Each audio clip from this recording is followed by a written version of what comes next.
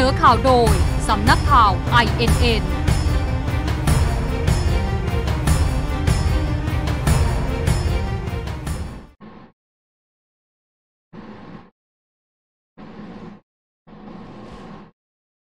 สวัสดีค่ะ 14 นาฬิกามาติดตามข่าวกับดิฉัน ปรางคณิตบุญเผยจากสำนักข่าว INN ค่ะ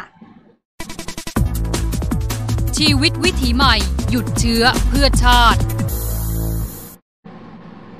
โฆษกสบคแจ้งความพร้อม โรงพยาบาลสนามอุบลราชธานีนะคะ ใช้มอราชพัฒย้ำทุกพื้นที่เตรียมจัดสร้างเพื่อรับมือค่ะ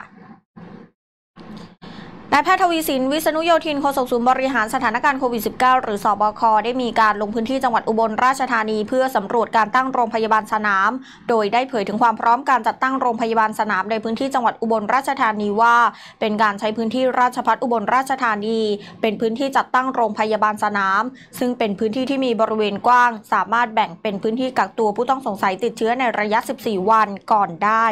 ก่อนที่จะส่งเข้ารักษาในโรงพยาบาลสนาม ซึ่งทั้งงหมดนะคะได้มีการวางแผนบูรณาการร่วมกันระหว่างกระทรวงมหาดไทย หน่วยงานด้านความมั่นคง และกระทรวงสาธารณสุข ซึ่งหากยังไม่มีการระบาดหนักจะเป็นการรักษาภายในโรงพยาบาลอยู่ แต่หากมีผู้ป่วยหลักพันจะมีการใช้ในพื้นที่โรงพยาบาลสนามนี้ ซึ่งเรื่องดังกล่าวนายอนุทินชาญวีรกูล รองนายกรัฐมนตรีและรัฐมนตรีว่าการกระทรวงสาธารณสุข ได้เน้นย้ำให้ทุกพื้นที่เตรียมการจัดสร้างโรงพยาบาลสนามค่ะ ต่อกันที่ผู้บัญชาการตำรวจนครบาลเผยค้นโรงสีย่านพระรามสามอุบตอบโยงเคนมผง คาดไม่เกิน 2 วันจับผู้ค้าพื้นที่วัดพระยาไกรได้ ขณะที่ยืนยันนะคะผู้เสียชีวิตเพิ่มเป็น 7 รายค่ะ พลตำรวจเอกมนูเมฆหมอกรองผู้บัญชาการตำรวจแห่งชาติพร้อมด้วยพลตำรวจโทพักขพงพงเพตรา ผู้บัญชาการตำรวจนครบาลเปิดเผยถึงความคืบหน้าคดีเคนมผงจนมีผู้เสียชีวิตหลายรายว่า ขณะนี้อยู่ระหว่างรอผลการตรวจพิสูจน์โดยละเอียดของส่วนผสมยาเสพติด แต่ที่สามารถยืนยันได้ในขณะนี้คือส่วนผสมหลักมีเคตามีน และสารเสพติดที่ทำให้นอนหลับเป็นส่วนประกอบ ส่วนสาเหตุที่เกิดการผสมจนเป็นยาเสพติดชนิดใหม่นั้น เพื่อลดต้นทุน และเพื่อให้มีฤทธิ์รุนแรงขึ้น สำหรับผู้เสียชีวิตขณะนี้พบว่ามีเพิ่มอีกหนึ่งรายค่ะ โดยเป็นผู้บาดเจ็บสาหัสก่อนหน้านี้ โดยผลการชันสูตรพลิกศพเบื้องต้นระบุสาเหตุการเสียชีวิต มาจากระบบหัวใจล้มเหลว เป็นผลสืบเนื่องจากการเสพยาเสพติดทำให้ยอดรวมอยู่ที่ 7 ราย แบ่งเป็น 6 รายอยู่ในพื้นที่สอนอวัดพระยาไกร และ 1 รายพื้นที่สอนอสุทธิสาร ทั้งนี้จากการรวบรวมพยานหลักฐานทำให้ทราบว่ามีการจำหน่ายยาเสพติดในพื้นที่วัดพระยาไกรและพื้นที่ใกล้เคียง ส่วนจะนำยามาจากไหนยังไม่ทราบ แต่ทราบแล้วว่าใครเป็นผู้จำหน่ายยาให้ผู้เสียชีวิต คาดว่าภายใน 1-2 วันนี้จะสามารถจับกลุ่มตัวได้ เพราะพบหลักฐานในคดีเพิ่มเติม แต่ขอเวลาตรวจสอบก่อนว่าเป็นรายย่อยหรือรายใหญ่สำหรับการจับกลุ่มผู้ต้องหาที่สอนอสายไหมกับสอนอจระเข้น้อยเบื้องต้นผู้ต้องหาให้การรับสารภาพว่า เป็นผู้จำหน่ายรายย่อย โดยรับยาเสพติดติดมาจากจังหวัดปทุมธานี แต่ต้องรอผลการตรวจพิสูจน์ว่า คดีของพื้นที่สอนอสายไหมกับคดีสอนอวัดพระยากรมีความเชื่อมโยง หรือมีการนำเอายาเสพติดมาจากเอเย่นรายใหญ่คนเดียวกันหรือไม่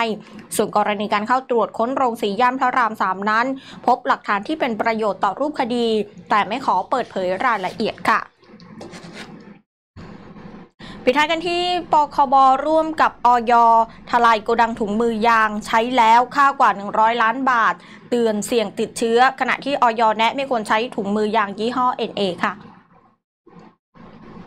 พลตำรวจโทเพิ่มพูนชิดชอบ ผู้ช่วยผู้บัญชาการตำรวจแห่งชาติพร้อมด้วยพลตำรวจตรีนัทศักดิ์ชาวนาใสผู้บังคับการปคบเภสัชกรหญิง สุพรตาบุญเสริม รองเลขาธิการคณะกรรมการอาหารและยาหรืออยแถลงผลการเข้าตรวจค้นโกดังแห่งหนึ่งย่านลำลูกกาจังหวัดปทุมธานี หลังสืบทราบว่าโกดังแห่งนี้ถูกใช้เป็นสถานที่ลักลอบแบ่งบรรจุถุงมือใช้ เพื่อจำหน่ายใหม่ค่ะขณะเข้าตรวจค้นพบคนงานกำลังคัดแยกถุงมือยางที่มีสภาพเหมือนถุงมือใช้แล้วบรรจุลงกล่องที่มีสัญลักษณ์ทางการแพทย์ขายเป็นถุงมือทางการแพทย์ยี่ห้อ NA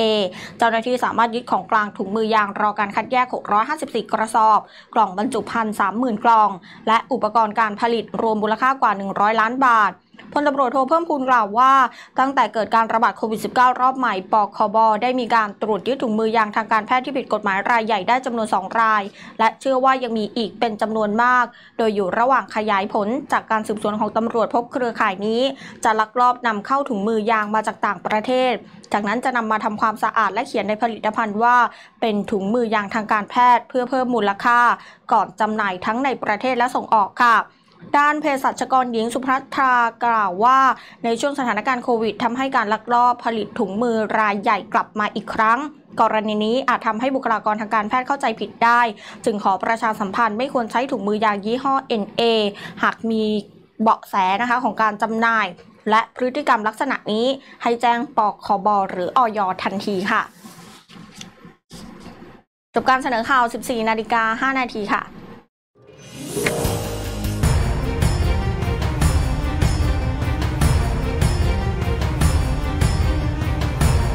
นอข่าวโดย สำนักข่าว INN